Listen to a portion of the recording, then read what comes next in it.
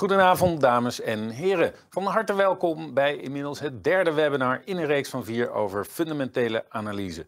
Mijn naam is Rogier St. Georgi. Ik zal vanavond uh, uw webinar presenteren als uh, productexpert van BNP Paribas. En um, ik sta hier natuurlijk niet alleen. Vanavond hebben we beleggingsexpert Albert Jellema bij ons. Albert, goedenavond, welkom. Goedenavond en uh, dank voor de uitnodiging. Jazeker. Uh, dit wordt alweer de derde in, ja. uh, in een reeks van vier. Uh, dus we hebben veel trouwe kijkers die nu weer gaan kijken. Dus wij gaan het vandaag hebben over het opbouwen van een portefeuille. Ja, klopt. We gaan vandaag, we hebben natuurlijk een aantal webinars gehad. En dat we het in ja, stappen eigenlijk proberen op te bouwen natuurlijk. En vandaag gaan we eens kijken van ja, waar moet je nu op gaan letten. En de basisbeginselen bij het opbouwen van een beleggingsportefeuille. En dan specifiek het aandelenstuk van een beleggingsportefeuille. Precies, helder. En um, uh, daarom hebben we dat uh, ook in een programmaatje uiteengezet. We, voor degenen die uh, vandaag voor het eerst kijken, dan zullen we jou nog heel even voor introduceren. en dan doen we dus ook een kort terugblik, want ja. de voorgaande webinars zijn respectievelijk drie maanden en zes maanden geleden. Dus dat is waarschijnlijk niet allemaal bij u blijven hangen. Dus even een korte terugblik, zodat we helder op het netvlies hebben waar we vorige keer naar gekeken hebben, waar we dus op voortborduren. voordat we bij het belangrijkste stuk komen over van vandaag over het inrichten van de portefeuille. Hoe bouw je die nou op? En dat doen we aan de hand van twee voorbeelden die Albert heeft geselecteerd. En um, bij BNP Paribas weet u dat we natuurlijk beleggingsproducten uitgeven. Dus ik zal nog even de link maken naar de producten. Vorige keer hebben we ook even gekeken naar de rendementscertificaten. Vandaag doen we even twee turbo's uh, met uh, lage hefbomen. Uh, om, om u te laten zien hoe u bijvoorbeeld invulling kunt geven. Maar er komen ook andere producten dan turbo's aan bod uh, als we de verdieping ingaan op het einde van het webinar. Nou, uh, zoals voor sommigen misschien wel bekend en voor sommigen misschien ook weer niet. Uh, we geven dus niet alleen die producten uit bij BNP Paribas, maar we willen ook graag dat u goed beslagen ten ijs aan de slag gaat. vandaar dus dat we verbanden hebben, samenwerkingsovereenkomsten hebben met verschillende partijen, als Nico Bakker, maar ook natuurlijk pro-beleggen en de aandeelhouder van Albert.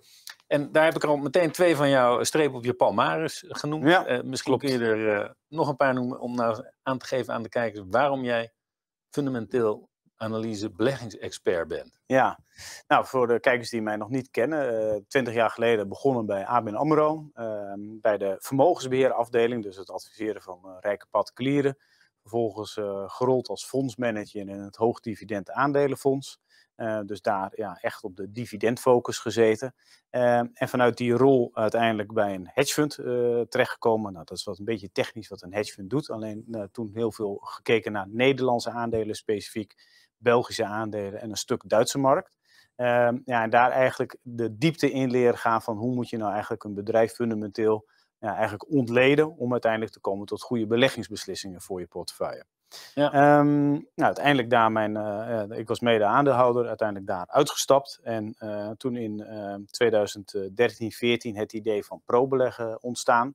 Eh, waarbij wat we eigenlijk proberen te doen is, want ja, beleggen is best complex met heel veel ja, informatie die beschikbaar is. Maar hoe haal je nou die informatie van jezelf als particuliere belegger ja, de, de, de krenten uit de pap of de informatie die je nodig hebt. Alleen ik zag dat het verschil tussen particuliere belegger en professionele belegger, dat er zo'n groot informatieverschil tussen zat. Dus toen zijn we pro-belegger gestart eigenlijk om te proberen om dat gat te verkleinen en die hele grote hoeveelheid informatie wat, wat te verpakken. En, en, en, en, en, ja, voor, voor, die, ja, voor de belegger. Um, en uiteindelijk kwam ook uh, de aandeelhouder op ons uh, pad. En de aandeelhouder is eigenlijk, was in eerste instantie puur een nieuwswebsite, waar heel veel beleggingsnieuws in stond als uh, resultaten waren. En dat hebben we uitgebreid, dat we nu eigenlijk ook veel meer duiding geven op de beurs. Dus dat we, we hebben een magazine, en dat noemen we dan het, de aandeelhouder premium tegenwoordig. Tot voor kort was het plus, maar dat is gerebrand naar premium sinds gisteren. Uh, en daar uh, ja, proberen we heel veel duiding te geven, maar ook wel kooptips. Maar ook de ETF van de week, dus ook ETF-markt laten we niet onbelicht. Ja, en dat is een heel mooi iets dat je op zaterdagochtend gewoon een mooi overzicht krijgt van de belangrijkste elementen op de beurs. En dat wij die duiding geven voor die mensen, um, voor de belegger. En uh, ja, dat proberen we met beide bedrijven eigenlijk te doen. Het gat tussen ja, de, de beleggers die er de hele dag mee bezig zijn, de professional en die particulier, om dat gewoon dichter bij elkaar te brengen. Ja, Helder. En dat is ook iets wat uh, eigenlijk vandaag, vanavond in de presentatie steeds naar voren komt. Ja. En want wij hadden het in de voorbereiding hadden wij het er ook al even over. Dat je kunt als, als, uh, als, als beleggingsexpert eigenlijk heel moeilijk al die kennis en ervaring die je in al die jaren hebt opgedaan, verpakken in, een, in een beperkt aantal webinars. Ja. En uh, het mooie van deze reeks van vier is dat dat eigenlijk mensen met interesse in beleggen de gelegenheid Ja. geeft om wat kennis op te doen. eh, en te kunnen zien waar jullie over schrijven. En, Ja. en dat juist te kunnen duiden. Om dan vervolgens al dan niet zelf een beleggingsbeslissing Ja, eh, klopt. te En- nemen. En dat is het ook. eh, En we proberen echt eh, ja, niet alleen maar de, de platte kooptips, om het zo maar te zeggen, maar er zit ook heel veel huiswerk achter. En Ja. de, dit is misschien, het zijn niet misschien de meest sexy webinars, om het zo maar te zeggen. Maar het is wel belangrijk om gewoon ja, om zelf succesvol te gaan beleggen. Als, als je dat zelf zou willen als particulier, ja, dan moet je wel de achtergronden kennen. Je hoeft echt het huiswerk allemaal zelf niet te doen. Er zijn Ja. genoeg plekken waar je die, die kennis kunt ja, inkopen, zeg maar. Ehm, eh, maar het is wel belangrijk om het zelf te begrijpen. Te je begrijpen waar het over want als je het gaat. niet begrijpt, zeg ik altijd, en dat is ook een van mijn- van mijn beleggingsfilosofie, als je het zelf niet begrijpt, moet je er gewoon niet in Niet in beleggen. beleggen. Ja. En als je beleggen niet begrijpt, Ja. zou je dus bijna niet moeten beleggen. Nee. Helder, dankjewel. Ehm nou ja, wat wij als bank zeker ook altijd doen, is dan uitleggen dat als een expert eh uitnodigen en die ventileert zijn mening, dat dat zijn eigen mening is en voor zijn eigen rekening verantwoording komt. Dat staat hier in het kort. Ik zal niet de hele disclaimer voorlezen. En wat misschien ook nieuw voor u is, is de risicowaarschuwing. Vanavond noem ik turbo's. Eh, en daar hoort een risicowaarschuwing bij die hier staat. Ehm, en dan nog een, een huishoudelijke mededeling die ik eigenlijk bij, bij het begin even aan u had moeten eh, meegeven, is dat u hoeft niet eh, alles te noteren. Eh, ik zorg ervoor dat u morgen een e-mail krijgt met daarin een link naar de slides van vanavond. Eh, het terugkijken van het webinar kan zelfs eh, vanaf morgen. Ehm, eh, zodat u nu geconcentreerd kunt kijken. En we hebben zelfs nog moderatoren thuis zitten. Dat zijn Dirk-Jan Breeman, mijn collega van BNP Paribas. En Nico Inberg, ook een bekend analist in feite. Ja. die zich heeft aangesloten bij Albert, bij de aandeelhouder. En Nico die zit ook klaar om uw vragen te beantwoorden. Dus Ik denk Eh, wel dat Nico stopt om eh 9 uur, want dan begint Feyenoord. dan begint voetbal. Ja, dus, nou, eh, dat zo- zal voor al- u alle gelden. Dus als u veel vragen, veel vragen heeft aan Nico, dan moeten ze nu stellen, want Ja. om 9 uur haakt hij zeker af. Oké, klaar. Helder. Maar niet alleen aan Nico. Ehm, mijn, mijn rol hier vanavond is om als presentator ook uw vragen aan Albert te stellen. Dat kan heel makkelijk. Hè. U kunt dus onderin uw scherm kunt u de vragen intoetsen. En de vragen die voor iedereen van interesse zijn, die stuurt eh, eh, eh, Nico of, of Dirk-Jan, die sturen die door naar mij. En ik zal ze dan voorleggen aan Albert. Zo houden we het voor u wat interactief.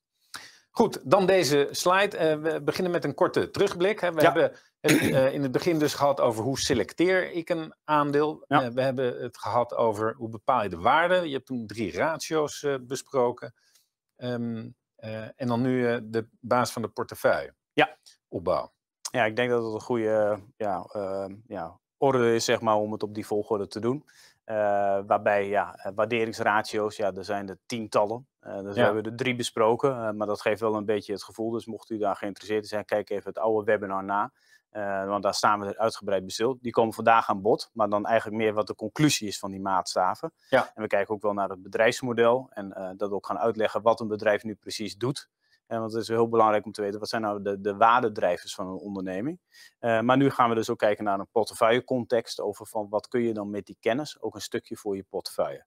En dat is gewoon echt de basis eh, van hoe je, denk ik, daar naar zou moeten kijken. Want eh, ja, we hebben heel lang gestudeerd om uiteindelijk in dit vak te komen. Maar we proberen nu gewoon ja, begrijpbaar te maken voor, Ja. de, voor, voor, de, voor de kijkers. Inderdaad. En als we dan vooruitkijken, we hebben inmiddels op 22 december eh, een datum geprikt. Eh, hopelijk bent u dan nog niet allemaal massaal bezig met voorbereiden van de kerst, maar eh, dat on- zal ongeveer een van de laatste beleggingswebinars van het jaar zijn, verwacht ik. En dan doen, we, dan doen we wel gewoon die keiharde kooptips. Dan doen we wel die tips. Ja, dan doen we ze Dan, wel. Nee, maar dat, dat is vooruitkijkend. Ja. En wat misschien dan wel aardig is om te weten, is aan het einde van het webinar, als ik het webinar afsluit, dan eh, kunt u klikken op een aantal actieknoppen en eh, dan verschijnt vervolgens automatisch een enquête. De laatste vraag van die enquête geeft u de mogelijkheid eh, om tips en suggesties aan Albert en mij te geven. zodat we die kunnen meenemen bij de voorbereiding van het volgende webinar. Goed, ehm, ja, wat, wat wij toch heel graag van u zouden willen weten, dus ik start direct een polvraag, is of u zelf al gebruik maakt van fundamentele analyse of mogelijk technische analyse. Of doet u dat misschien wel beide?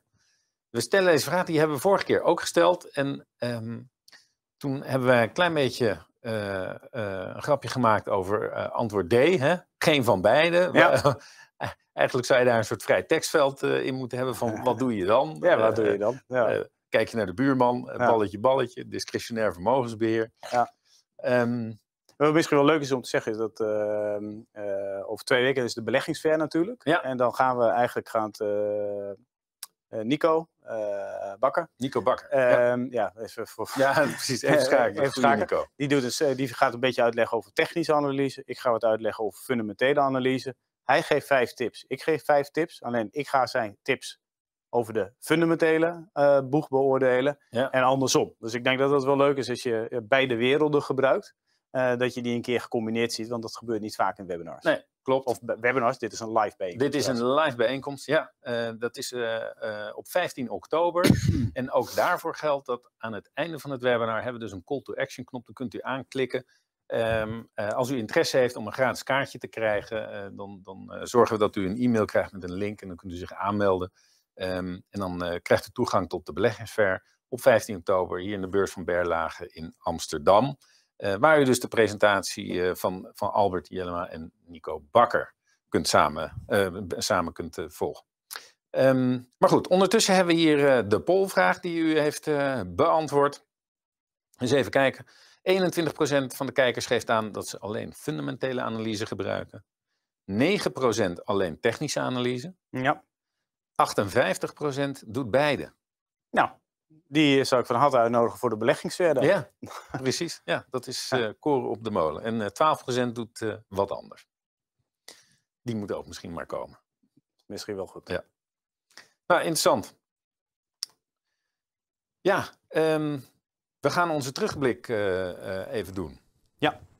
Ja, eigenlijk hebben we natuurlijk uh, al, een beetje, wat gezegd, de, gezegd van wat we allemaal gaan doen. dus even terugstaan bij de vorige webinars en dan de portefeuille. En uiteindelijk gaan we het nog hebben over het nieuwe abonnement van de aandeelhouder. Ja. Um, ja, wat is fundamentele analyse? ja, eigenlijk kun je drie hoofdvakken indelen. Hebben vorige eerste webinar is dit besproken, maar even kort terugblik. Je hebt macro, dus echt dat je kijkt naar macro-indicatoren zoals werkloosheid, economische groei, uh, ontwikkeling van consumentenbesteding, rentestanden, et cetera. Nou, dat is niet echt waar mijn focus ligt. Uh, maar dat is wel een onderdeel van fundamentele analyse. Nou, dan heb je, daarnaast heb je meso, dus dan kijk je meer naar bedrijfstakken, sectoren. Van ik wil heel graag in technologie zitten, maar dan zou je nog verder kunnen gaan. Waar binnen technologie wil je dan zitten? Wil je dan in e-commerce zitten? Of wil je bijvoorbeeld in semiconductors zitten? Dus dat is dan nog een uh, volgende stap die je kunt maken. En uiteindelijk, hè, dan kun je zeggen, nou daar laat ik het bij. En dan koop ik bijvoorbeeld een ETF in die specifieke sector of subsector. Uh, en als derde, wat je nog zou kunnen doen, is dat je zegt van nou, ik wil graag in technologie, ik wil graag in semiconductors. En dan kies ik een individueel aandeel en dat is een microgedeelte. Dat je kijkt welk bedrijf is dan het meest interessant in die specifieke sector of subsector. Ja. En dat is eigenlijk de bedrijfsanalyse en financiële analyse. Daar besteed ik het meeste van mijn tijd aan. Uh, dus het focusgebied voor, zit voor mij echt op die macro en die micro. Uh, meso en de micro. Meso en de micro, sorry. sorry ja. ja. En, en macro, uh, maar ik, ik, je zegt daar ligt niet mijn aandachtsgebied, maar je nee. leest ook de krant, laat ik het zo zeggen. Ik dus, lees zeker de krant, alleen dus, ja. om inschattingen te maken bijvoorbeeld over ja, hè, de economische groei, et cetera. en dat dan door te vertalen naar wat een specifieke sector of bedrijf gaat doen Tuurlijk heeft het er invloed op. En macro is bijvoorbeeld wel heel veel meer bepalend, bijvoorbeeld voor hele cyclische bedrijven, hè, zoals een Randstad. Ja. Uh, maar ja, ik, pro ik, probeer wel aandelen te selecteren die in zichzelf een winnaar kunnen zijn. Uh, en markten die echt gaan groeien. En dan is zo'n dat macro-element wel minder relevant voor de keuzes die ik maak. Ja, dat lijkt me een crystal clear verhaal. Even kijken, krijg ik hier al een. Uh... Ik krijg hier al direct een vraag binnen via Nico ja. van uh, kijker VDA. Heeft Albert een of meerdere boeken die hij interessant vindt in verband met fundamentele analyse? Ja, als mensen nou toch zeggen, ik, ik wil nog verder de verdieping in en zelf aan de slag. Zijn er ja. wat dat betreft Cijfers die je aanbeveelt. Nou ja, dat, is natuurlijk, dat ligt heel erg af van uh, waar ben je in je, in je ontwikkeling als belegger. Ehm, uh, ja, ik heb zelf het boek recentelijk gelezen van Ray Dalio, dat heet Principles. Dat is een hele succesvolle, eigenlijk meer macro hedge fund manager. Maar hoe die zijn beslissingen neemt en hoe die alles vastlegt en documenteert wat hij doet, vanwege welke redenen. En hoe, over die, hoe die op die manier belegt. Ja, dat vond ik, gaf een heel mooi inzicht ja. uh, hoe hij het deed. Dus dat vond ik een heel mooi boek. Het is wel een Engels boek en het gaat best wel diep in de materie. Uh, ja, dan heb je natuurlijk uh, Benjamin Graham, de value investor. Meer, dat is meer, ja, ook weer meer basis. Uh, maar ja, het ligt ook heel erg aan, aan je, je, kennisniveau. Ja. Uh, we kunnen ook van Janneke doen natuurlijk ja, uh, blondjes beleggen beter. Daar pas ik ook wel bij. Maar ja, dus, dus, het hangt heel erg af van waar je zelf in je ontwikkeling bent als belegger. En ja, ja, er zijn duizenden boeken. dus kijk ook vooral naar de reviews en kijk ook naar een beetje waar je zelf zit qua ontwikkeling op beleggingsgebied. Het toeval is, ik, ik zag Janneke net twee uur geleden nog. Oké. Ja, en die, die vertelt mij dat ze dus uh, al tienduizenden van die boeken verkocht heeft. Dus, ja. En dat is dus uh, beleggen op, op uh, de basis. basisniveau. Ja. Dus dat is misschien ook nog wel iets voor ja. kijkers. Ja, um, het doel van fundamentele analyse. Ja, dat, dat lijkt in de basis een heel makkelijk te beantwoorden vraag met geld verdienen. Maar ja. zo makkelijk is het toch niet, voordat je daar bent? Nee, kijk, uh, uiteindelijk uh, wat je wil bereiken is natuurlijk gewoon dat je meer rendement maakt dan wat je maakt als je het op je bankrekening zet. Of als je uh, bij wijze van spreken huizen zou verkopen, maar dat je uiteindelijk ook minder risico neemt. Want je kunt wel streven naar het absoluut hoogste rendement, maar het is, moet natuurlijk altijd een balans zijn tussen het risico wat je neemt en het rendement wat je kunt behalen. Um, nou, nu is het zo, als je een portefeuille opbouwt, dan zou je kunnen zeggen van je moet kijken naar aandelen, obligaties. Uh, nou, tegenwoordig crypto's wordt steeds meer een assetcategorie ja. uh, gezien door veel beleggers natuurlijk. Uh, je hebt cash, uh, maar je hebt ook alternatieve beleggers zoals hedge funds, et cetera. Dus in de basis, als je een portefeuille opbouwt, als je bij een vermogensbeheerder zou zitten, die verdelen je geld altijd over verschillende categorieën. Nou, waar we het vanavond meer gaan over hebben is het stuk aandelen. Dus hoe bouw je een aandelenportefeuille op? Uh, nou, wat, wat, ik dan wil, en uh, dat is voor ieder moet dat ook uiteindelijk voor zichzelf bepalen. Maar ik wil graag kwaliteitsbedrijven hebben waarbij ik denk dat die uh, een duurzaam concurrentievoordeel hebben. Ehm, ook uiteindelijk bedrijven die zicht hebben of uiteindelijk goede winsten kunnen behalen met een aantrekkelijk rendement op het geïnvesteerde kapitaal. En uiteindelijk wil je ook wel dat ze een aantrekkelijke waardering nu hebben als je gaat instappen. Want een heel goed bedrijf is niet per saldo een hele goede belegging. Ja. Dus je moet ook zorgen dat het een goede belegging zou kunnen zijn. Um, en uh, ja, wat ik zelf altijd nog doe, uh, ik doe ook wel eens iets voor de kortere termijn. En dan kijk ik eigenlijk van, is er bijvoorbeeld overdreven veel stress in een aandeel, wat ik te ver vind doorgeschoten. En dan neem ik dat ook wel eens op in de portefeuille. Dus ja, wat is voor mij het doel? Ja, dus uiteindelijk maar wat bedoel je dan met overdreven veel stress dat je opneemt in het portefeuille? Nou, als er bijvoorbeeld een bedrijf is wat een, een claimemissie doet, ja dan zie je die aandelen vaak uh, ja, tot het moment van de claimemissie enorm onder druk staan. Ja. Uh, bijvoorbeeld Fugro, uh, nog niet zo lang geleden. en vaak op het moment dat die claims dan uitgeoefend worden, dan zie je vaak toch wel een soort herstel. En dat is niet een, maar je moet het bedrijf ook wel echt willen hebben. Ik wou het zeggen. ja, want kijk, en een waardering je... moet aantrekkelijk zijn. Alleen vaak zie je dan wel echt stress ontstaan, omdat er gewoon veel geld uit de markt moet worden gehaald. Ja. En ja, soms probeer ik daarvan te profiteren. Oké, okay, maar dan op voorwaarde dat dat aandelen zijn. Die je eigenlijk ook wel wil bezitten. Ja. ja. Ja. ja, hier hadden we het eerder dus over. Hoe bepaal je de waarde van een aandeel? Ja, dit is eigenlijk dus, uh, webinar 2 was dit. Dit was eigenlijk van dat je zegt, nou je hebt groeiaandelen. Ik, ik deel ze in in die categorieën. Groeiaandelen, waardeaandelen. Uh, groeiaandelen hebben het fantastisch gedaan op de beurs. Waardeaandelen hebben het eigenlijk heel erg slecht gedaan op de beurs. Uh, dus vanavond hebben we ook iets meer waardeaandelen, zeg maar, in de aanbieding, zeg maar. Uh, en je hebt uiteindelijk uh, GARP, dat is Growth at Reasonable Price. Dat zijn aandelen die wel groeien, uh, maar nog relatief aantrekkelijk geprijsd zijn. dus dat zijn eigenlijk de drie categorieën aandelen die ik onderscheid. En dan de waarderingsmaatstaven die we toen bespraken was de koers-winstverhouding, de EV-EBITDA en EV to sales, EV to sales. En die komen straks ook wel weer terug in, in de individuele tips die we hebben. maar ja, dit is wel ja, de waarde van een aandeel je kijkt naar bepaalde maatstaven bij bepaalde categorieën aandelen. Dus bij groei kijk je bijvoorbeeld veel meer naar EV to sales-achtige waarderingsmodellen. En bij waarde kijk je bijvoorbeeld veel meer naar EV-EBITDA, koers-winstverhouding, dividendrendement. Ja. Dus uh, het is niet zo één waarderingsmaatstaf geldt voor alles. En dan is banken bijvoorbeeld nog weer een compleet ander spectrum. Want dan gebruik je überhaupt weer compleet andere maatstaven. Oké. En heel even over dat uh, GARP, hè, Growth at a Reasonable Price. Is, Ja. dat, is dat, zie je dat als een subsetje van groeiaandelen? Of zeg Nee. je van nee, groei dat is echt heel hoge Ja, groei en GARP dat is ja gro- groei, groei, is, maar gematigder. groei is tegenwoordig natuurlijk eigenlijk, eh, ja, dat zijn eh, de techbedrijven geweest natuurlijk de laatste jaren. Eh, de ASML'en, de ASMI's, de Basi's, de Adjens. Eh, dat, dat zijn echt de hele zware groeiers geweest. Nou, Ja. GARP groeit ook al, maar dat is meer een IMCD, want dat groeit organisch eh, ja, wel tussen, wel bij wijze van spreken 10%. Eh, en eh, een Wolters Kluwer met 6, 7%. Eh, dat zijn GARP-aandelen. Maar je hebt ook bedrijven die natuurlijk maar 2, 3% groeien. Ja. Bijvoorbeeld tegenwoordig een Unilever. Ja, groeit niet meer zo heel hard, Ja. ondanks het feit dat het veel in opkomende markten zit.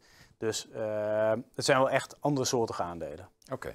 Helder. Ja. En hieronder eh, hebben we nog een keer de En drie ratio's weergegeven. En op het moment is het ook vaak zo, eh, zeker in die extreme groeiers. En zijn bedrijven, nou, CM.com is een bedrijf wat ik bijvoorbeeld in portefeuille heb. Ja, dat groeit dan 60, 70 procent jaar op jaar.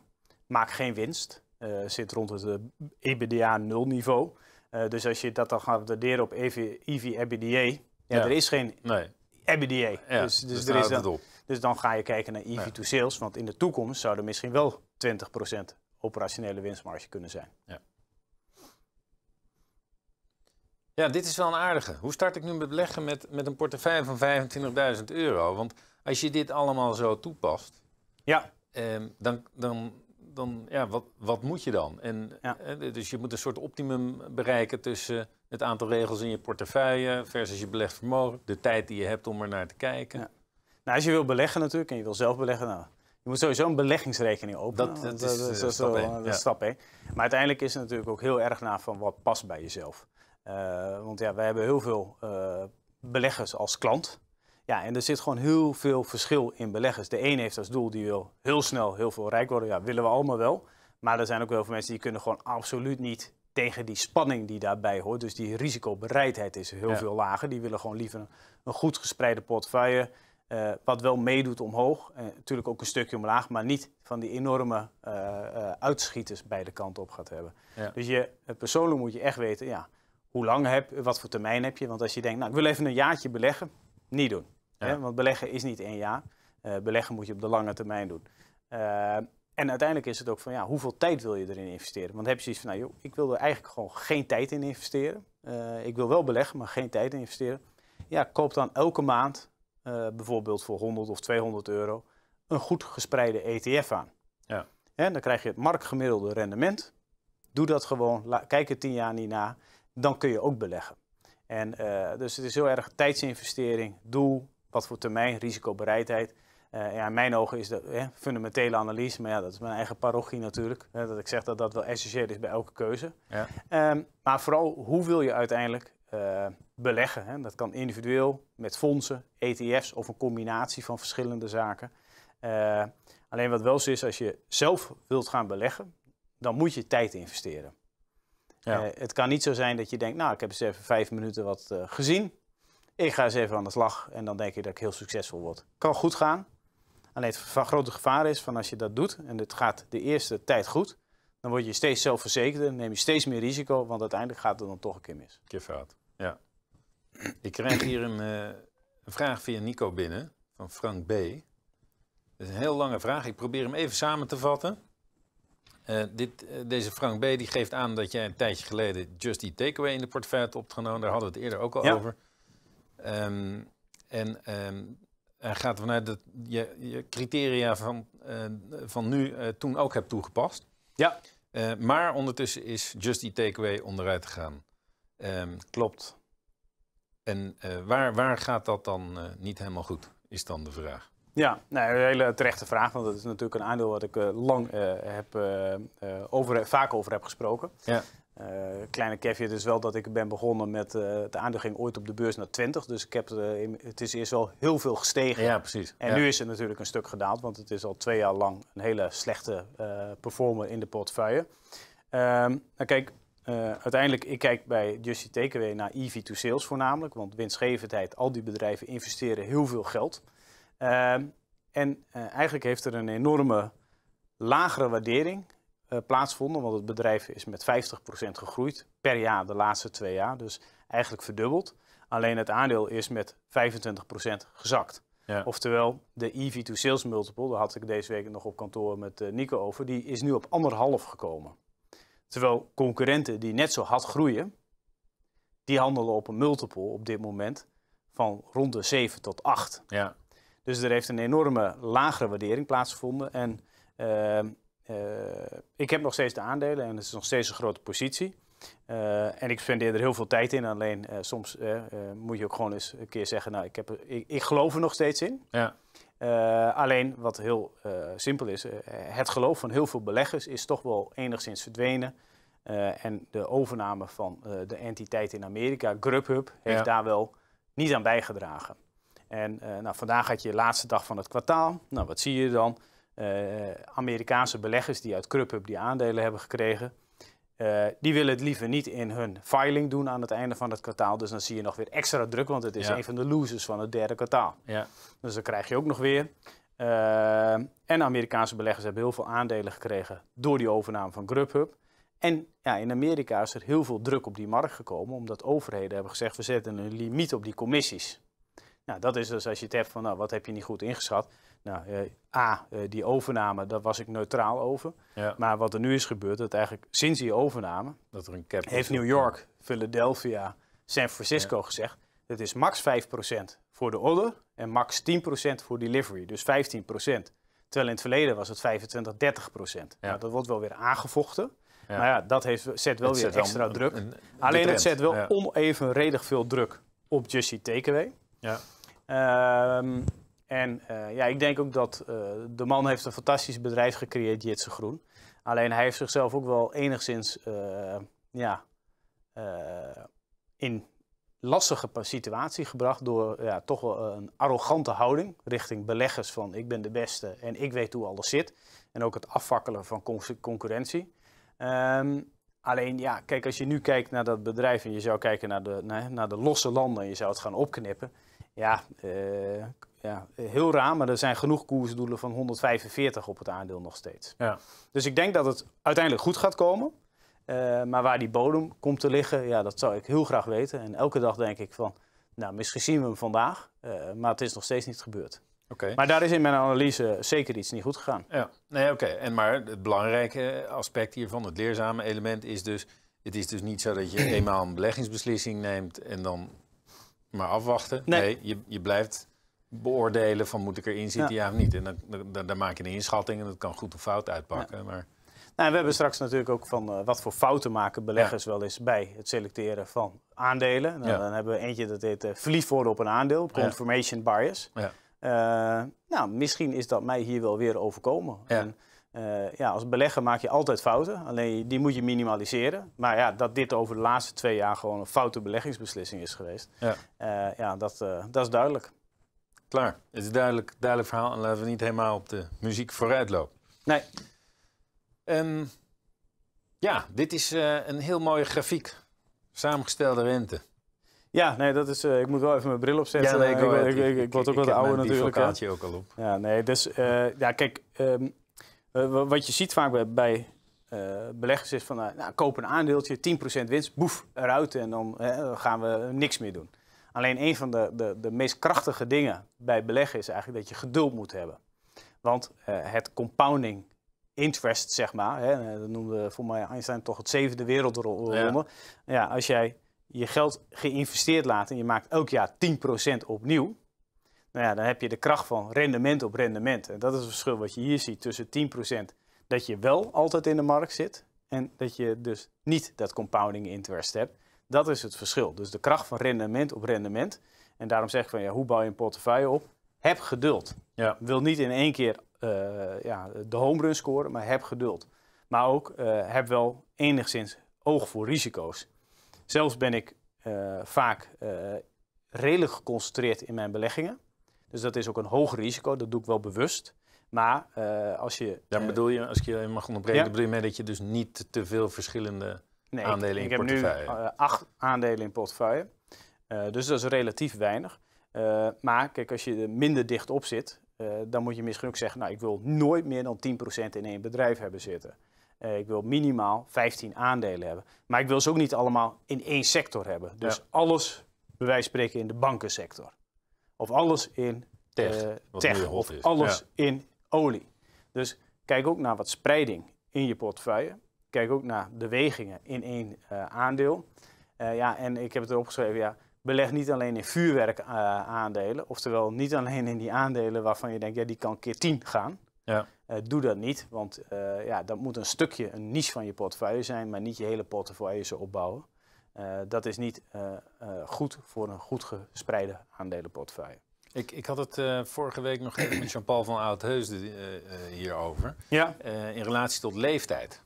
Ja. Dus stel je nou voor dat je jonger bent. Hè? Dus je zit zeg maar aan, ja. de, aan de voorzichtige kant van 20 in plaats van ja. zoals wij dicht bij die 50. Ja. Uh, kun je dan zeggen van nee, dan, dan doe ik juist wel meer vuurwerk aandelen? Nou, kijk, eh, bij, bij vermogensbeheerder is het vaak meestal dat ze zeggen van uh, je leeftijd is je percentage in obligaties. Oh ja. Hè? Dat is dan wat altijd gezegd wordt. Alleen, ja, op obligaties krijg je nul. Ja, sterker nog, die zijn nu best gevaarlijk. die zijn dus misschien best gevaarlijk. Uh, tuurlijk, als jij jong bent, heb je veel langere beleggingshorizon. Maar om nou dan alleen maar dat. Kijk, er zijn ook hele mooie bedrijven die niet voor 50% omzetgroei gaan. Maar er zijn ook heel veel mooie bedrijven die voor 15 of 10% omzetgroei gaan.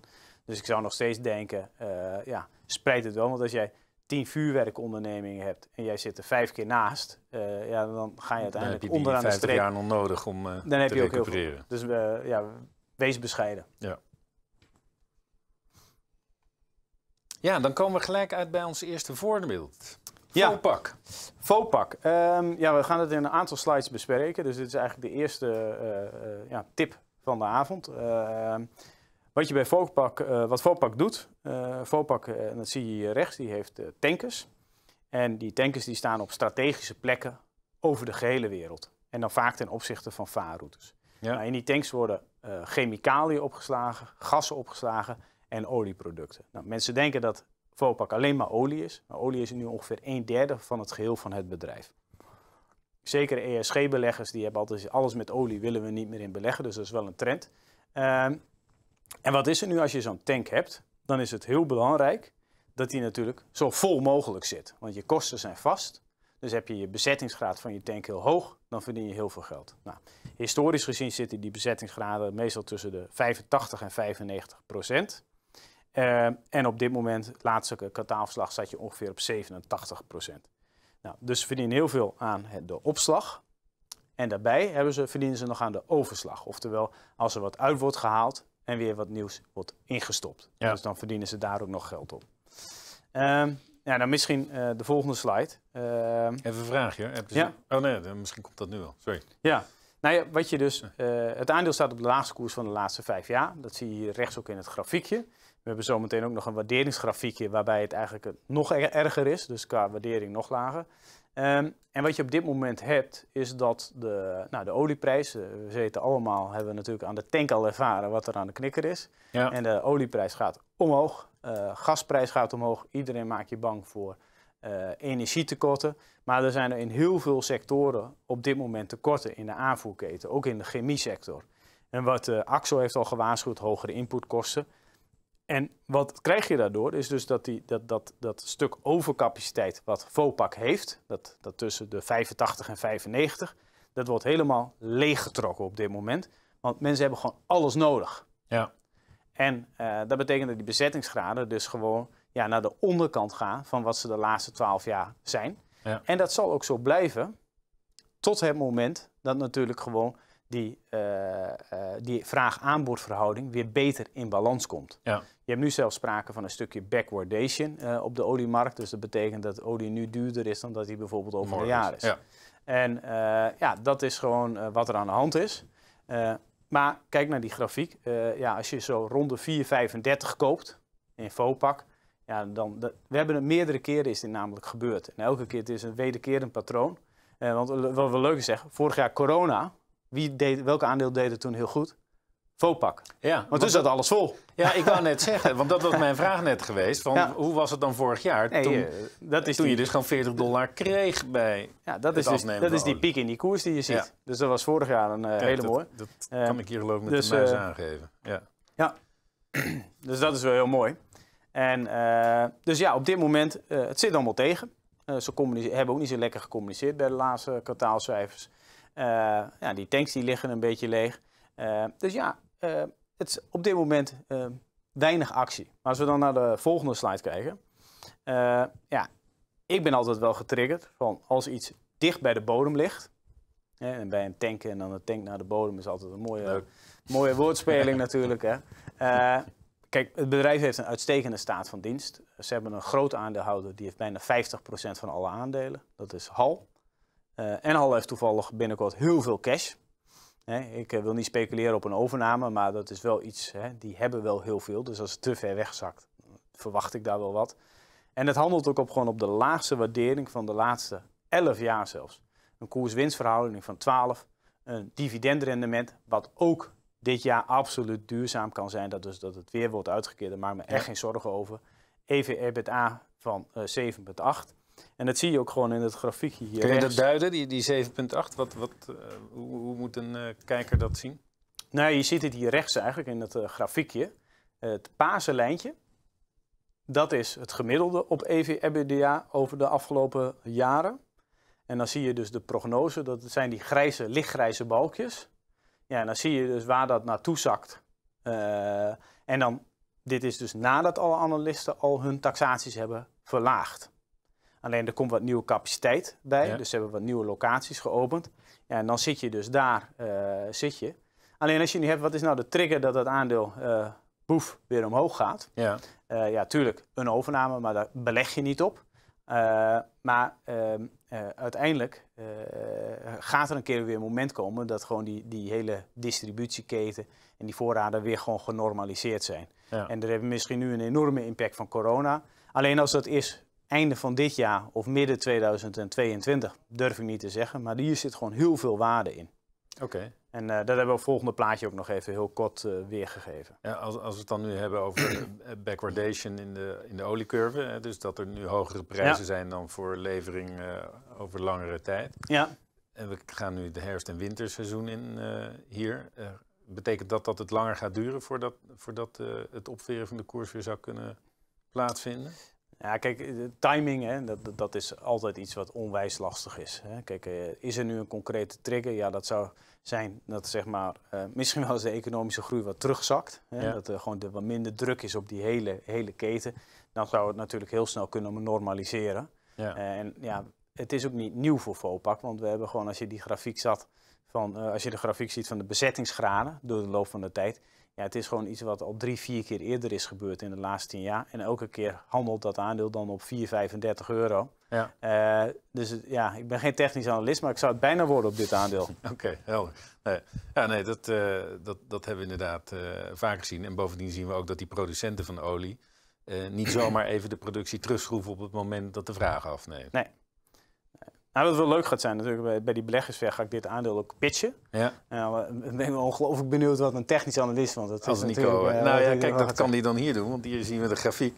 Ja. Ik, ik, ik ben ook hoogstens hobbymatig technisch analist, ook al werk ik al die jaren met Nico eh, samen. Maar ik zou dit toch een dalende trend durven noemen. Ja, eh, ik zou, wel zeggen, eh, ik zou zeggen wegrennen Ja, als technisch analist. ja.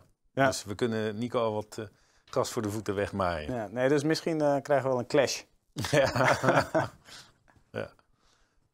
Oké. Nou, dank helder. Ja, en dan toch heel even de koppeling naar eh, turbo's. Eh, want ik had het er met eh, Albert in de voorbereiding over dat ja, als je dan op een gegeven moment iets verwacht en vast bent op een aandeel, dan zou je best een turbolong kunnen overwegen. Alleen wat wij al jaren doen, is dat we beleggers dan toch vooral wijzen op de lagere hefbomen. En Albert is daar helemaal conservatief in. Die zegt twee. Ja, nee, ik vind altijd dat je, eh, eh, ondanks dat je hè, kunt zeggen van ja, je hebt een enorme speling naar beneden, naar je stop-loss niveau. Maar met een hefboom van 2, dan denk ik gewoon dat je het heel prudent doet. En ik vind het een heel mooi toepasbaar altijd eigenlijk op dividendaandelen. Want je kunt, eh nou we hebben hier ook een voorbeeld dan hè, op Vopak. Dat je, en de cijfertjes zijn net niet correct, maar dat je eigenlijk als je twee keer dat dividendrendement pakt van 3,7 procent, dan die 16 hier staat zou eigenlijk 7,4 procent zijn. Dus daar kun je eigenlijk je dividendrendement naar ophogen. Nou, dan moet je wel wat geld lenen. Want zo hoort dat, hè? de financieringskosten die liggen dan op 1,45%. Maar dan maak je ongeveer 6% eigenlijk dividendrendement. Nou, zeker bij een bedrijf waarvan ik denk nou, dat de bodem toch wel uh, redelijk dicht in zicht is. Ja, ik zie dat never nooit 43%. Uh, eh, nou, ik, nou. Zeg, ik zeg ook altijd wel, een van mijn lijstsprekers is, zeg nooit nooit. maar en, ik zou bijna hier bijna nooit durven zeggen. Een openbaring. Je zegt opeens nooit en je wordt technisch analist. Ja, nee. Dus, uh... toch nog heel even duiden uh, wat jij zegt. Hè? Want hier in de vorige slides zag u dat Albert hier aangeeft het dividendrendement van 3,7 procent. Ja. En als je daar dus met een hefboom van 2 in zit, kun je daar de facto het dubbele van terugkrijgen. Maar als u een turbo koopt, dan betaalt u over het financieringsniveau financieringskosten. En die bedragen dan uh, 1,4% Hier heb ik per ongeluk niet de juiste waardes in overgenomen. Um, dus per saldo uh, zit er wat dividend aan. Gaat 6% uh, opwaarts potentieel in op jaarbasis. Want bij turbo's krijgt u dividenden terug. Op het moment dat een aandeel dividend uitkeert en de koers daardoor naar beneden gaat, dan gaat bij een turbo long het financieringsniveau naar beneden. En krijgt u op die manier die waarde terug. Als u nou niet precies weet hoe turbo's uh, uh, werken, uh, kijkt u dan even in ons webinararchief terug. Daar heb ik nog een webinar onlangs gegeven waarin ik de werking enigszins uitleg. Um, en dan kunt u eens kijken of dat wat voor u is. U kunt natuurlijk ook altijd even contact met ons opnemen als u vragen heeft. En zeker niet onvoorbereid aan de slag gaan met turbo's. Um, maar u zult zien dat als u zich er wat in verdiept, dat het een transparant product is in de zin van de waardebepaling. Nou, hier heb ik ook aangegeven, er zijn ook andere turbo's. We keken eerst ook nog naar een turbo met een lager, uh, lagere hefboom van 1,6. Um, ehm, die is wat uh, voorzichtiger, durft u een hefboom van 3 aan, uh, dan is dat er ook en, en zelfs meer. Zo ziet dat er op de website uit. Um, bij eerdere webinars uh, zagen we dat er nog niet zoveel mensen zijn die uh, al met turbo's beleggen. Misschien uh, dat er onder u vandaag wel mensen zijn die dat als incidenteel hebben gedaan. Of misschien zelfs wel al vaker hebben gedaan. um, en het is een product dat echt gericht is op de ervaren belegger die, die, die zelf bovenop de markt zit. Dus misschien dat u er niet eens interesse in heeft. Dus we hebben de poll openstaan en ik zie dat er al driftig geklikt wordt door u op de poll. Leg je zelf wel eens met turbo's? Ja, kijk, ik ben natuurlijk heel fanatiek uh, altijd als belegger. En ja, af en toe doe ik natuurlijk ook wel wat met turbo's, want dat is gewoon toch leuk. Ja. En, uh, en uh, zeker met, zo, met dividendaandelen, als je denkt dat je zo'n enorme bandbreedte hebt, dan is het gewoon wel leuk om af en toe wat met een turbo te, te doen. Te proberen. Ja. ja. en heel soms, hè, daar zal ik ook eerlijk in zijn, heb je wel eens van, nou, er is momentum bij een bedrijf, er kan er wel iets gebeuren, dat je dan denkt, nou, ik zet hem iets agressiever aan, zeg maar, om te kijken als je op die manier uh, op korte termijn een leuk rendement kunt halen. En dat is misschien het volgende tip die we zo meteen hebben. Ja. Da daar zit dat wel een beetje in het element. Ja, leuk. Nou, ik uh, publiceer ondertussen de poll en die toon ik voor de kijkers thuis. Zelfs 16% van u zegt geregeld in turbo's te beleggen en 19% incidenteel. Nou, dat vind ik al eh, best een hoog score. Dus ruim een derde van u eh, heeft daar reeds ervaring mee. En 27% heeft zelfs interesse in turbo's en 37% niet. Dus het overgrote deel van de kijkers wil ermee aan de slag. Nou, dat is, uh, dat is een uh, interessante score. Ja, we moeten een groot gedeelte nog in jouw webinar daar gaan terugkijken. Ja, zeker. Ja, Dat kan vanaf morgen. Eerst deze nog even afzien. Ondertussen heb ik hier voor u um, uh, de mogelijkheid om zich te abonneren op een van de nieuwsbrieven van BNP Paribas. Die geven wij elke dinsdag uit. Um, maar we geven ook de technische analyse nieuwsbrieven uit van Nico Bakker. Um, en als u een uh, mail wilt hebben van, uh, vanuit ProBeleggen, dan, dan kunt u klikken op de tweede knop. En als u informatie wil hebben over een abonnement op het magazine van de aandeelhouder. Hier heb ik nog jouw oude logo in. Hè? Je, ja, we hebben net een nieuw logo met, met, met, met, het, met, het stiertje. Ja. Dus uh, maar dat, ja. die kunnen mensen zo meteen op de volgende slide zien. Okay. Dus, maar dat uh, ja, magazine is, ja, is een groot succes geworden. En nou, we zeiden van ja, we proberen echt dat gat tussen die uh, professional en die particulier uh, ja, kleiner te maken. We proberen wel hè, met zo'n webinar als dit heel veel uit te leggen wat we doen. Ja. Alleen we proberen dat dan ook te delen in concrete kooptips, maar ook wel duiding op belangrijke gebeurtenissen, zoals bijvoorbeeld Shell, die voor heel veel assets heeft verkocht. Wat gaan ze dan met al dat geld doen? Dus dan proberen we ook duiding te geven en dan echt heel gericht onze visie op uh, Shell te geven in zo'n magazine. Ja. En bij ProBeleg hebben we meer portefeuilles, dat je echt letterlijk kunt kopiëren wat iemand anders doet. Een professionele belegger, zeg maar. Ja. Uh, dus dan uh, ja, proberen wij heel veel huiswerk te doen. We delen die informatie. Alleen ja, u beslist zelf van ja, past dit bij mij? Doen, Vind ik dit een leuk verhaal? Ja. Uh, geloof ik erin? dus dat is wat we met beide bedrijven proberen te doen. Ja. Oké. Okay. Um, nou, als u op die derde link klikt, dan kunt u zich of direct aanmelden of u krijgt morgen nog een e-mailtje van. Albert.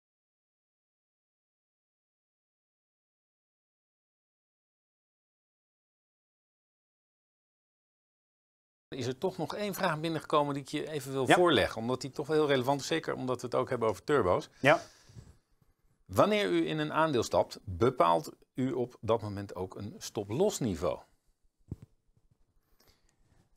Uh, nee, in principe niet.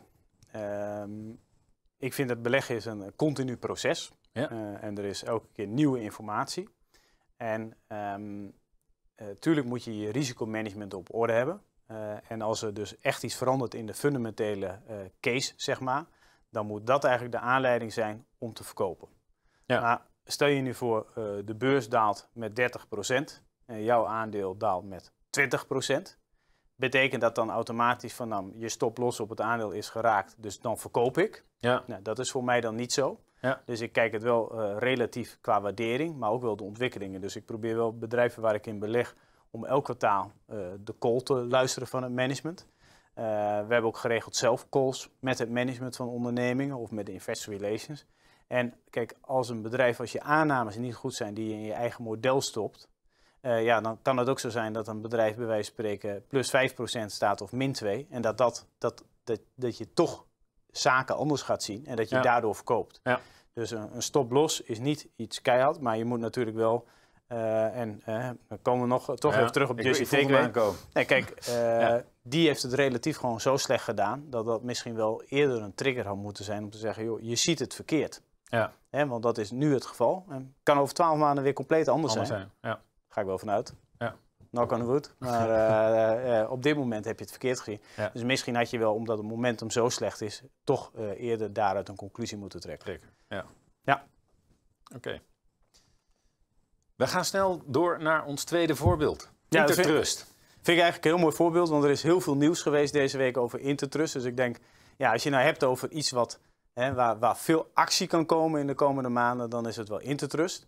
Uh, het zit in de Nederlandse uh, midcap index. En voor de mensen die het niet kennen, uh, eigenlijk bieden ze, doen ze twee hoofdzaken. En dat zijn administratieve diensten voor beleggingsfondsen, dus de hele administratie. En dat is helemaal mooie groeibusiness, wat ongeveer 8% per jaar gaat groeien. En daar hebben ze een bedrijf overgenomen nu twee jaar geleden en dat heet Viteos. En dat is gewoon een heel mooi bedrijf wat heel mooi groeit. Eigenlijk een GORP-belegging, uh, waar we het eerder over hadden. Um, en is ook het grootste gedeelte van het bedrijf Intertrust. Maar, het tweede woord zegt het al, trust.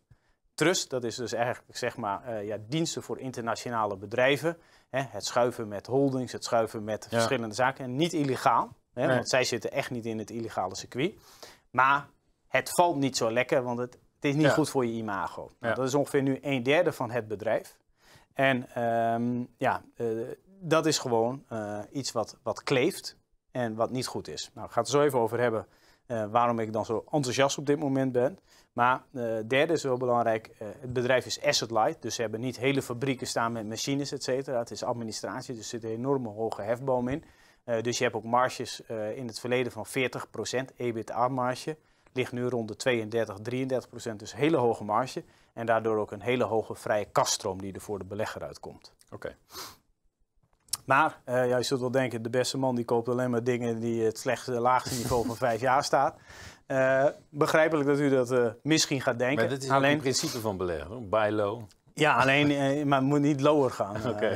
dat is ook de bedoeling. Ja. Alleen, kijk, beurzen zijn heel hard opgelopen. Je hebt die groeiaandelen. Ja, je, je ziet koersdoelen dan weer hoger en hoger gaan. Alleen als ik dan die waarderingsmultiple zie die je nodig hebt om op die koersdoelen te komen. Uh, ja, persoonlijk denk ik dan wel van ja, daar zit in mijn ogen toch wel uh, echt wel risico. Ja. Uh, ik zeg niet dat het niet verder kan gaan, maar er zit wel echt risico dat, dat je echt als er een keer correctie komt, dat en, de, de hele mooie bedrijven, maar ik heb mijn twijfel als het ook hele goede aandelen gaan zijn op de komende 12 tot 24 ja. maanden. En als ik dan een bedrijf als dit heb, wat op het laagste niveau staat van ongeveer weer de laatste vijf jaar. De redenen dat ze daar staan, nou, ze hebben dus die, die, die fondsenbusiness gekocht. Nou, dat heeft lagere marges. Dus je hebt het margeprofiel zien verlagen, nou, rond de 32% nu, wat nog steeds heel erg hoog is. Ja. Uh, ze hebben heel veel geïnvesteerd in IT, want ze willen meer automatiseren. Oftewel, daardoor krijg je uiteindelijk weer een hogere hefboom. Nou, ze hebben ook extra kosten gehad voor COVID, omdat ze uh, mensen hadden hier en in Azië. En dat wilden ze transfereren, maar dat is uh, vertraging opgelopen.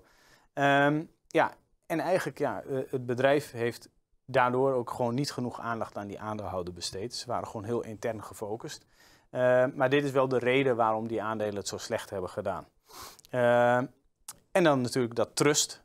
Mensen ja. willen gewoon ESG beleggen. We ja, willen niet in trust. trust. Ja. Dus, maar dan komt het eigenlijk ja, het, het leuke waarom ik nu zo enthousiast ben. De CEO uit het Viteos, dus de fund business, die is nu de CEO geworden van het hele bedrijf sinds december. Nou, wat heeft hij gedaan bij de tweede kwartaalcijfers? Die heeft gedacht, nou, alle ellende die ik kan vinden in deze, dit bedrijf, die gooi ik eruit. Ja. Dus dat noemen we zogenaamd als belegger noemen we dat een kitchen sink.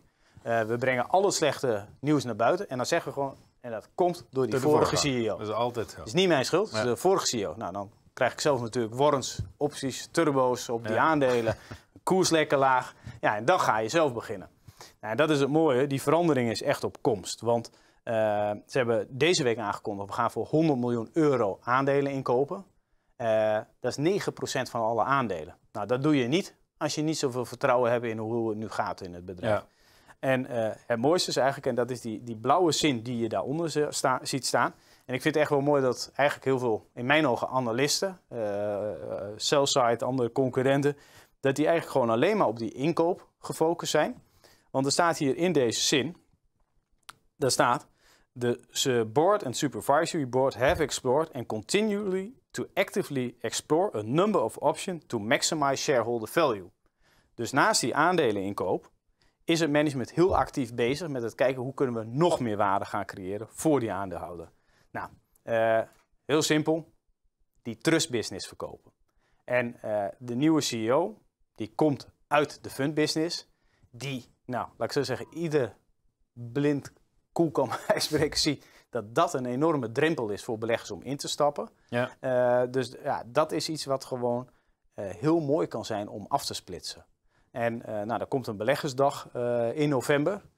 waarop meer verteld gaat worden. Nou, daar kwam deze week nog bovenop dat een activistische belegger die dacht, nou laat ik dan ook nog een briefje schrijven dat ik 5% van de aandelen heb, dat er actie moet komen. Uh, maar ik denk dat deze opmerking, het bedrijf is echt met meer bezig om die waarde te creëren. En uh, nou ja, er staat hier ook waardeerd maatstaven. 12 keer de winst, uh, eh, 7 keer even EBITDA. EBITDA. En dan zie je daar rechts ook weer dat grafiekje. Ja, hoe laag wil je het hebben, bij wijze van spreken. Ja. ja, zelf heb ik een koersdoel van 1875. maar ja, en nu staan ze rond de 13? Rond de 13. Ja. dus ja, dat is echt wel significant opwaarts potentieel. En ook hier weer, dan denk ik van naar beneden toe. Ja, als ze 10% van de aandelen gaan inkopen. Uh, ja, ik zie ook niet meer heel veel risico naar beneden. Ja. Nu is het zo wel dat Hoekstra heeft natuurlijk gezegd van ja, ik wil, misschien wil ik al die trustbedrijven wel uh, verbieden. Nou, dat gaat nergens over, want uh, ja, je kunt niet de illegale en de legale allemaal op één hoop gooien. Ja. maar ik, ik hoop oprecht dat dat trust verkocht wordt. Want dan heb je A, ben je van dat stempel af. En B, je andere business groeit hadden. Ja. En daar willen mensen veel hogere multiple voor, voor, voor, betalen. betalen. Ja. Dus, uh, dus dat zou, dat zou mijn, uh, mijn droomscenario zijn. Die, uh, die het op kunnen nemen in de portefeuille. Ja. Nou, hier dan ook nog die waardering in perspectief. Het heeft nu een klein tikje omhoog gekregen, maar ja, ja. in mijn ogen heel laag gewaardeerd. Oké, en als jij zegt van ja, ik zie weinig risico naar beneden, Um, en ja. wel weer mogelijkheden omhoog tot 18 euro als koersdoel. Ja. dan zou je dus ook weer kunnen kijken naar een turbo. Ja. Um, hier heb ik ook weer een lijstje meegenomen van uh, wat wij momenteel in het aanbod hebben. Dat hebben we speciaal voor vandaag weer opgefrist met nieuwe turbo's. met lagere hefbomen, 2, 2,5, 3 uh, tot uh, 4,5 uh, aan toe. Dus um, ja, daar, daar zit dan mogelijk voor beleggers die net aangaven voor 70% interesse te hebben in turbo's wat bij. Ja, maar het is ook wel voor de korte termijn is het ook gewoon, denk ik, ik denk wel dat hier echt wat gaat gebeuren. Wat gaat gebeuren, ja. ja. Leuk, leuk. We gaan het afwachten. Ja, dit zijn ehm, twee interessante casussen die Albert heeft besproken. En vroeg mij af of u die interessant vindt. Dus um, vindt u ze beide interessant? Alleen Vopak, alleen Intertrust? Of zegt dit nee, geen van beide? Nou, ik ben wel, wel, benieuwd, omdat het niet echt de usual suspects zijn. Nee, zeker niet. Dus het is een keer wat, uh, wat andere aandelen. Ja. ja. Ik zie ook dat er langer over wordt gedaan voordat er wordt geklikt. Dus mensen zijn uh, misschien nog in dubio. Ik, ik gok dat C wint. Jij gokt dat C wint? Ja. Oké. Nou, dan kan ik je alvast... Ik neem een turbo op zee. Jij neemt een turbo op zee? Ja. Nou, stop er niet te veel in, want uh, ik kan je verklappen dat 51% beide tips oh, okay, interessant vindt. ik zal het hier laten zien. Alleen Vopak interessant, zegt 19% en jouw C 17%. Ai. Beide niet voor mij 13%. Dus okay. uh, mensen zijn uh, tevreden over jouw suggesties. Leuk. Ja. Goed. Ja, eh, het magazine, daar hebben we het over gehad. Maar waar we het nog niet specifiek over gehad hebben, misschien heel kort nog even, is, is de chatsessies die jij met Nico Inberg doet. Ja, nee, wat wel, wel heel leuk is, we hebben, we hebben een magazine. Dan geven we op zaterdag echt duiding op alles wat er op de beurs uh, uh, ja, is gebeurd. Belangrijke zaken. En dan geven we ook kooptips. Alleen, uh, ja, we krijgen van heel veel leden terug van... Um, wij doen chatsessies, dan kunnen de leden hun vragen insturen en dan gaan, beantwoordt Nico die dan live in een sessie één keer in de twee weken. Ja, dat vinden mensen zo fantastisch dat ze gewoon direct dat contact kunnen hebben om hun vragen te stellen. Dus daar is gewoon heel veel vraag naar. We doen ook podcasts, hè. kunnen mensen ook vragen insturen, dan proberen we die ook te behandelen. Uh, en ik denk dat dat wel een heel mooi element is, dat je ook gewoon dat persoonlijke, hè, waar je zelf mee zit als belegger, ja. als particulier, dat je ook die vragen kunt stellen. Je twijfels kun je gewoon en, aan specialisten uh, dus dat, uh, En we geven geen advies, geen één op één advies. Maar je kunt wel gewoon, als je tegen dingen aanloopt, dan kun je ze gewoon aan ons vragen. Ja, leuk. Zeker de moeite waard. Komt bij het, het magazine abonnement. Ja, dan zeiden we ook, we gaan de verdieping in. Want er is zowaar meer in de wereld dan alleen turbo's en rendementcertificaten. Ja. Hier heb jij een, een, een, denk ik, vrij duidelijk verhaal over ETF's. Hè? Argument om een ETF te beleggen? Ja, er komen nog twee tips aan. Eén uh, ETF en nog één individuele tip. Die laatste komt aan het eind. Ja, en wat, uh, kijk, hoe bouw je een portefeuille op? Dat, dat is hè, het thema. Je kunt dat allemaal met individuele aandelen doen. Maar zoals ik zei, van, ja, stel je voor je wil niet zoveel tijd investeren. Of je wil echt specifiek in één sector beleggen. En nou heb ik als voorbeeld gepakt, dat is natuurlijk heel populair in Nederland. En dat is de semiconductor. Hè. We hebben ASML, we hebben ASMI en we hebben BESI. Nou, ik denk alle beleggers die vanavond kijken, nou, die zullen wel één van die drie waarschijnlijk in portefeuille hebben of hebben gehad. Uh, maar je neemt dan een, natuurlijk een bedrijfsspecifiek risico van heb ik dan wel de goede binnen die sector? Want er zijn wereldwijd, het is een wereldwijde markt, Aziatische spelers, Amerikaanse spelers. Dus als je denkt van ja, ik weet niet wat ik moet kiezen, dan zou je ook kunnen zeggen van nou, dan wil ik, ik wil gewoon die sector wil ik bezitten. Nou, dan heb ik hier een voorbeeld meegenomen van een uh, eh, ETF van, uh, van EC. Uh, daar zit ASML ook heel dik in, hè, met 10%. Maar je krijgt ook een Nvidia erbij. Nou, dat kennen mensen misschien niet zo goed, maar dat is wel de nummer twee. En dat is echt uh, ook een fantastisch bedrijf. Als je ook kijkt naar die koersontwikkeling, is ook spectaculair. Dus op deze manier kun je zeggen van, ook bij, ja, ik wil in, eh, of je wil in robotics zitten op dit moment, of in artificial intelligence. Wat moet je dan kiezen? Want er zijn er wel honderd bedrijven. Nou, en dan zou je eens kunnen zeggen van, nou, voor een stukje van mijn portefeuille kies ik dan een, uh, een ETF. Dat kun je prima toevoegen aan een individuele aandelenportefeuille. Ja. Zeker als er bijvoorbeeld ook geen Nederlandse bedrijven van zijn.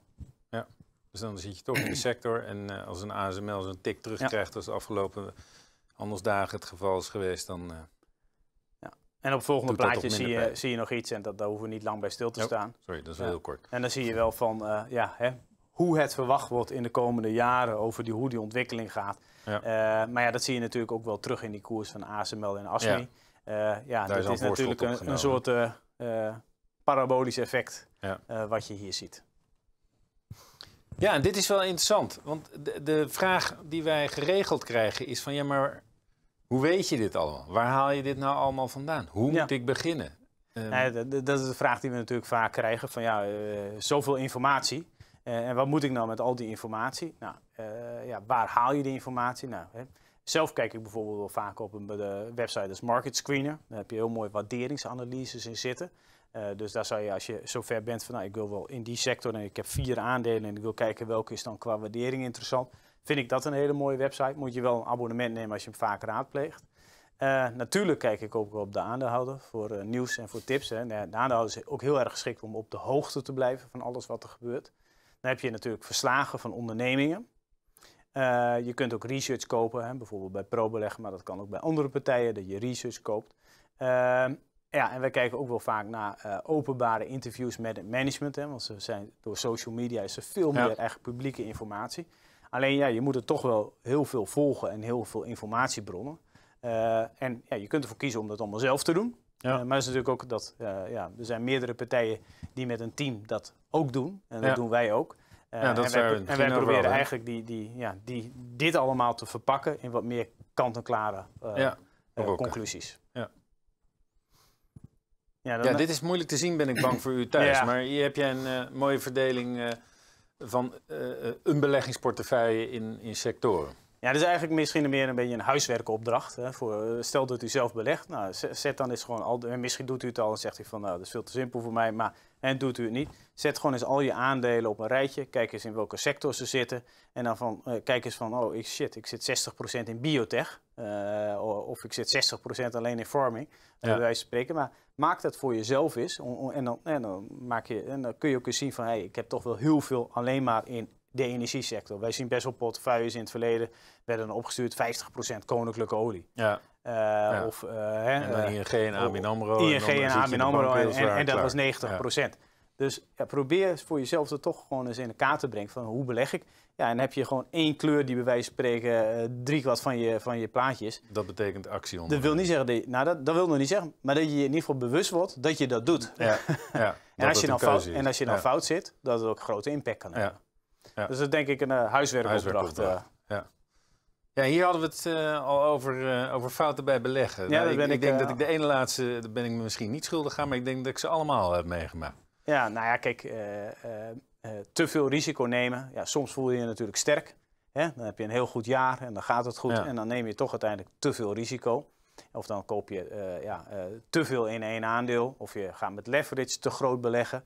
Uh, dus ja, dat is gewoon een fout. Dus ja, stel je eigen regels op uh, en hou je ook aan die regels. Dat is wel gewoon belangrijk. Want je gaat toch op een gegeven moment uit de pas lopen. En ik beleg 20 jaar en ik loop nog steeds af en toe uit de pas. Ja. Uh, en we hebben het al gehad over verliefdheid, confirmation bias. Ja, daar heb ik last van gehad, denk ik, de ja. laatste twee jaar bij één specifieke aandeel. denk ook niet altijd in de hele korte termijn. Want we hebben gezien, 8, 10% per jaar, heel lange termijn.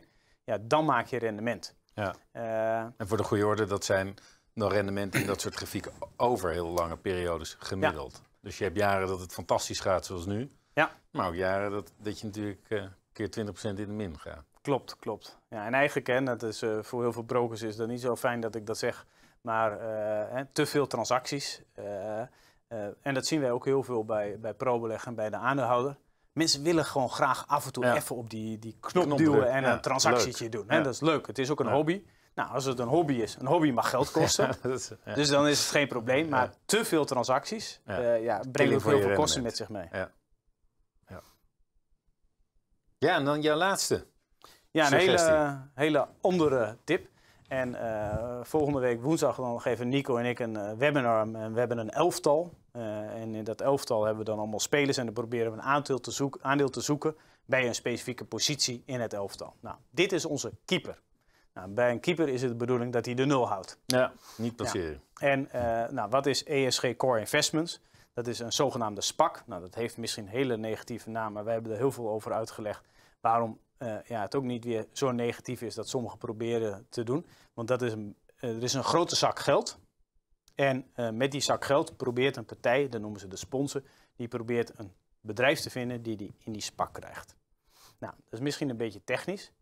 Maar waar het hier om gaat, is eigenlijk dat je zelf als belegger altijd de kans hebt om je aandelen weer terug te verkopen aan het bedrijf op een van aan tevoren, ja. aan de spak, aan een van tevoren vastgestelde prijs. Nou, in dit geval, het is op een tientje naar de beurs gegaan.